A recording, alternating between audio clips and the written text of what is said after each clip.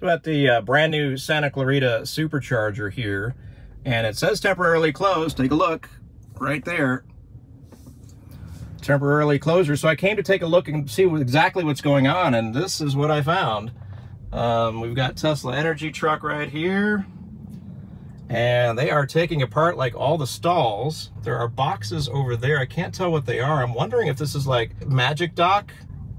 No, they're pouring in some coolant there. That's interesting. Okay. Some sort of retrofit going on here. A couple of Model Ys with uh, parts in them.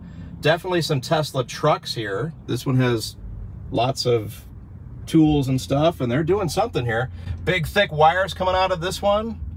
Not sure what's going on here. Very, very interesting to see. I don't think those are magic docks yet. Those look like regular handles and ports and stuff. So wow, it is completely and utterly taken up, and it is definitely temporarily closed. This was the site of where we had the big Tesla uh, Cybertruck event this past weekend. We had six Cybertrucks here, and now take a look at this. I mean, it is completely and utterly being worked on, completely down. Uh, they're doing something.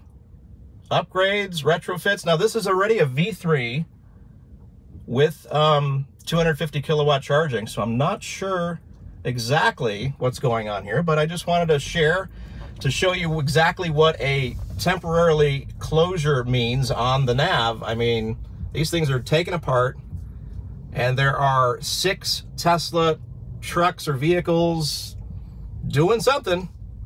And whatever it is, is inside these boxes here that say TV3